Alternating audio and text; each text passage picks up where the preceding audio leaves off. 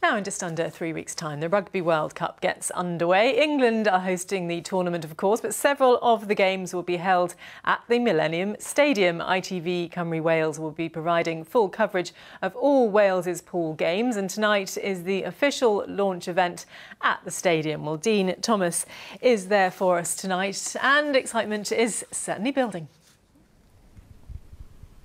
Yeah, that's uh, right, Andrea. The great and the good uh, of Welsh rugby are here for the official launch of ITV Wales's uh, World Cup coverage. Ex-players like uh, Adam Jones and Ryan Jones, they're here. Legends like Phil Bennett and our commentator uh, for all those games during the tournament, Eddie Butler, he's here as well. And that's just a flavour of some of the people who'll be giving uh, punditry and analysis during our coverage, which will be in HD. And I'm delighted to say joining me now is Wales captain Sam Warburton.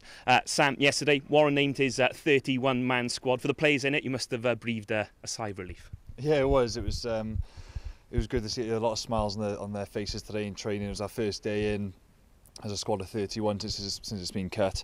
Um, and the boys are delighted, you know, everybody um, never takes their, their place for granted in the Welsh squad. So um, it's been hard, you know, it's been a, a tough two, three month pre-season, but, um, you know, massive award to get the, to go up to 31 man squad.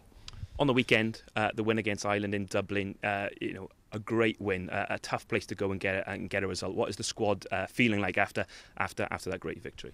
I think you know in these warm games you sort of play them down a little bit in the press. Um, but from a confidence perspective, it was absolutely massive win for us. You know, to go out to Ireland and Dublin, you know, they've only lost two of the last 15 games, and both of which have been to Wales. So to go out there, I think they haven't lost there since 2013. It was a massive performance, and we're historically quite slow starters when it comes to campaigns, and it was the first game for a lot of those boys and to put in that performance, um, and it was always going to go down to the wire when you play a quality side at Ireland, it always does. But um, you know, to kick on from this now, um, you know, it's great for momentum going into the World Cup.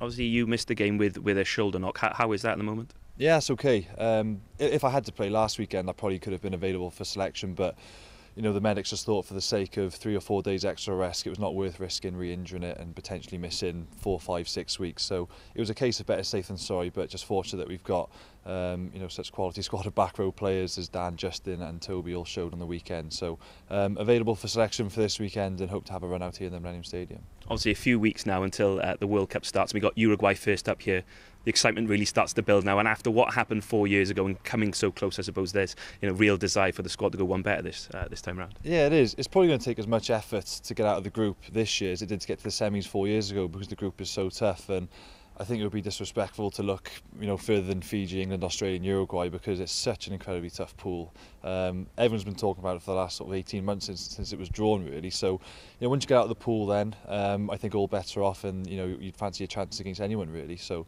once you get out of the pool, um, be interested to see what the draw's like then. Well, Sam, we wish you all the best of luck. You can be assured that the whole of Wales uh, will be uh, behind you. And uh, this is just the start of uh, ITV Wales's coverage, and we'll have all the build-up in the weeks to come.